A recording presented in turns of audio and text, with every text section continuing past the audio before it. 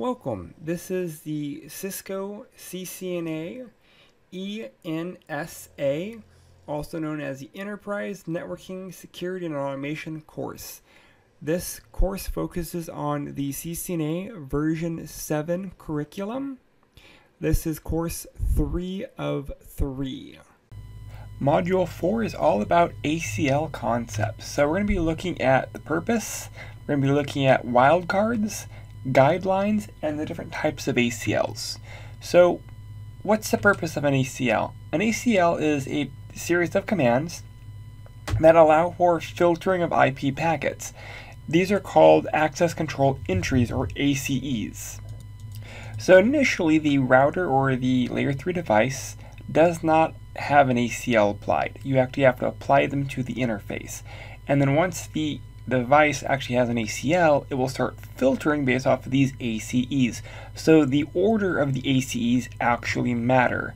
Again, the ACL is the list of ACEs, and it is important to note that the process is called packet filtering and is, is done sequentially. So when you configure an ACL, the first entry, the, the first ACE, will be the first filter then the second AC will be the second filter, and so forth. There is a inherent deny at the end. So if none of the above entries actually filter, there will be an implicit deny at the very end, blocking everything. And we're going to have some examples of how to actually configure this coming up.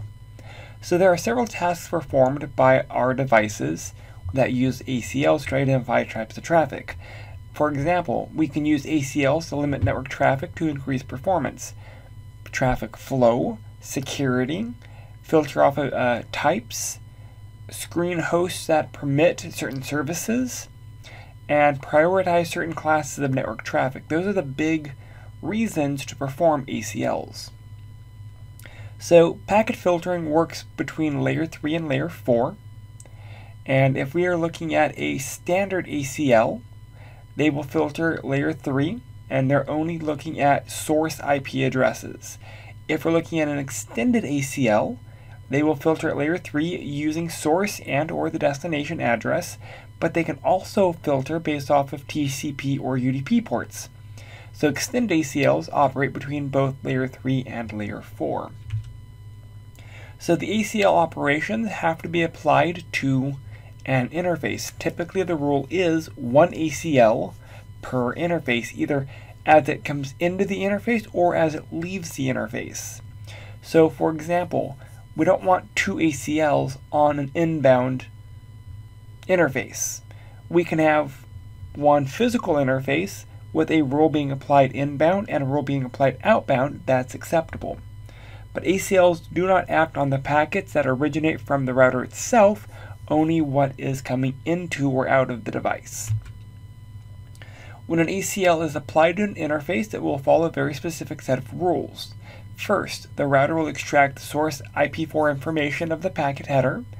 Second, the router starts at the top of the ACL and compares the source address to each ACE in the sequential order. When a match is made, the router carries out the instructions, either permitting or denying, based off of the ACE. The remaining ACEs are not even analyzed. The first match is what is processed. Lastly, if there's a source IP address that does not match anything, the packet is discarded because again the implicit deny at the very end. The last ACE statement of all ACLs are the implicit deny. So we have a lab going through our ACEs and ACLs. Next, how do we use wildcards in our ACLs to match traffic? Again, wildcards are just a clever way of saying inverse. Here's an example if we want to match certain host bits. You would take the subnet and you would flip them and only allow the ones coming in.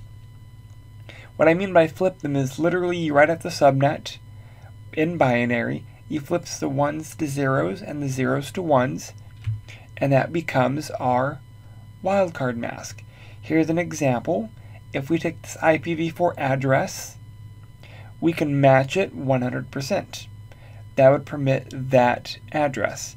If it was a slash 24, the wildcard would be a 0.0.0.255 because the first three octets are all ones and the fourth octet's all zeros, we inverse them or we flip the ones and zeros, leaving the wildcard to be 0.0.0.255. I have separate videos explaining how to do our wildcard masks. So how would we write the entry? We would write the entry as access lists 10, the action, here we're doing permits, the IP, and the wildcard mask. So what happens if we want to actually match an address range? We would do the same thing. We'd do a wildcard mask with the network ID, and you take the subnet of the network ID, inverse it, and that would be the appropriate response. Again, inverse, you take the subnet, flip the ones and zeros, and that is our wildcard mask. So calculating the wildcard masks, that's a lot of words. Realistically, all you have to do is take the subnet, write it out in binary, flip the ones and zeros, that is our wildcard mask.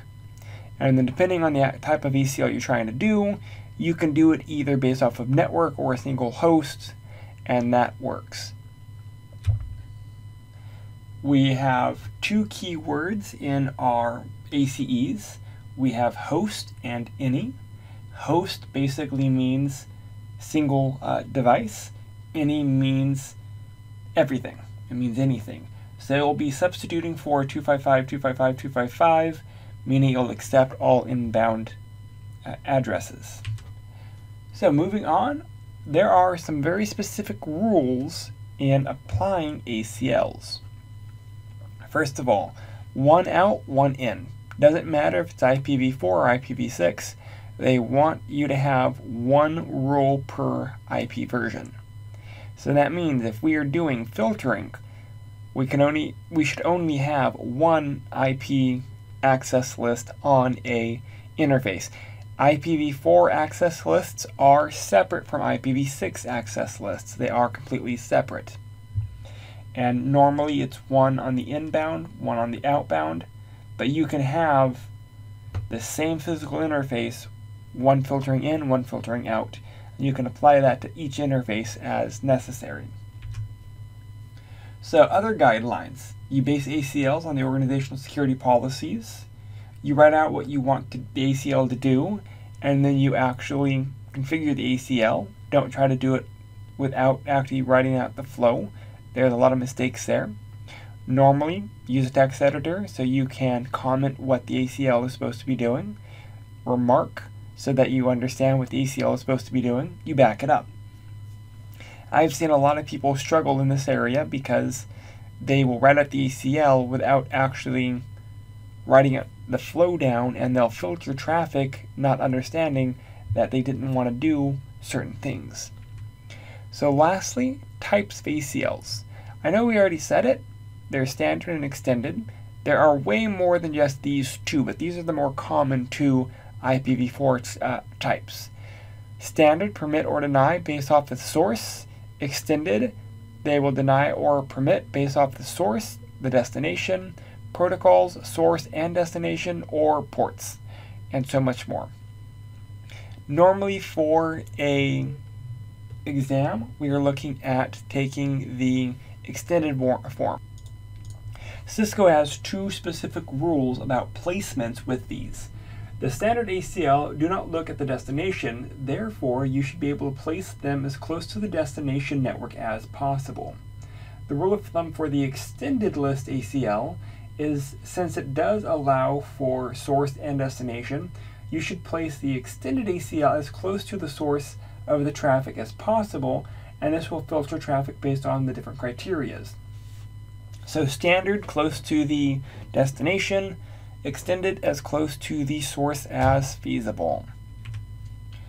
We have numbered ACLs, so instead of giving a ACL a name, we can do a number, Normally the numbers are 1 through 99, that's a standard. Also 1300 to 1999 are also standard. If we're dealing with extended ACLs, they are going to be between 100 and 199 or between 2000 and 2699. Those are going to be our extended. We have named ACLs as well. And just like numbered ACLs, we would do either standard or extended. And here we have an example of an extended ACL that is being named FTP filter. So again, placement. Placement is extremely important. Extended is always near the source. The standard is always near the destination. And this will be brought up probably a dozen times. So you will get tested on this. Uh, I've also seen this on the actual exam. So placement for our ACLs are crucial in understanding. So where do we place our ACLs? Again, the extent of the organizational control is where we're trying to go. So if we do not control the destination, we get to the closest portion that we control to the destination as possible. So uh, if we are looking at filtering uh, because of bandwidth, we may want to uh, filter of traffic at the source to prevent transmission.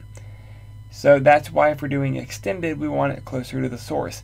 Also, one of the main reasons for our location is usability for our configuration. So let's go ahead and let's look at an example of our standard ACL. Here we're going to be filtering from one network to another network. As it goes, I believe we're filtering from. So we would be blocking all traffic from 192.168.10.0 network going to the 192.168.30 network. So we would be placing that inbound on R3. So following those rules, that is where we would filter. If we are doing it reverse, we would be looking at as it goes into R3. So here is the example again. We'd be doing an inbound. The standard ACL can be applied as it comes into the serial interface. However, it also filter to network to the 192.168.31 network. In this example, that would be an issue. So the standard ACL should not be applied to this interface because we don't want to filter it off of everything we would be doing it based off of the outbound gig zero interface instead. That way, we do not have to worry about it filtering to the 30 network. Again, since the standard ACL is only filtered off of the source address, we don't get to manipulate the destination. Therefore, that's why I'd be using the gig 00 instead of the serial. If we were to do this via a ex extended ACL, we would be doing it on the serial. Well, we uh, in that case we'd be doing it on the serial on router a site A's side. That way, it's closest to the destination. Sorry, closest to the source instead of the destination. But you could filter based off of the source and destination type addresses. So again, extended ACL placement the rule of thumb is closest to the destination as possible, and we want to look at the data as it leaves.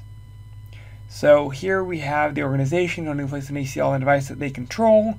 Therefore, the extended ACL placement must be determined in the context of where the organization uh, does control. In this example, Company A wants to deny Telnet and FTP to Company B's network while promoting all other traffic. We can do that a few different ways, but normally what we could be doing is filtering it off of serial outbound. And we can do that to the destination. We'd be doing it to serial 1 on router 1, that way it's filtering it as it's going to its destination. Here again is the example. There are two possible interfaces, the serial or the gig interface. If we do it on the serial, there can be applied an outbound rule. This solution will process all packets leaving R1, including packets from the 10.0 network. So we, if we do it on the gig 001 of R1, the extended can uh, the extended ACL can be applied to the inbound on the gig 001, and only packets from the 11 network would be subjective to this rule. So again, it kind of depends what are we trying to do. Are we trying to block all traffic? Are we trying to block traffic from one network? So it, it depends. That why that's why the rule of thumb is write them out, draw out the data flow, and then proceed from there. And that is a practical overview of ACLs, kind of what they are, how they function, and where to apply them. We're going to be doing our configuration coming up shortly. We covered things like setting up our ACLs, looking at the different types of ACLs, looking at our wildcard masks, looking at numbering and naming, and understanding placement. We looked at extended versus our standard. We looked at uh, traffic uh, action, permit, deny, and kind of how to filter. And that's all for this chapter. Any questions or anything, please feel free to reach out. If you have any questions or anything, please feel free to reach out. Again, with this material, being able to ask questions and discuss some of the topics in the lecture help build long-term retention, so do not be afraid to, to communicate with this topic. Again, I'm here if you need anything. Thank you.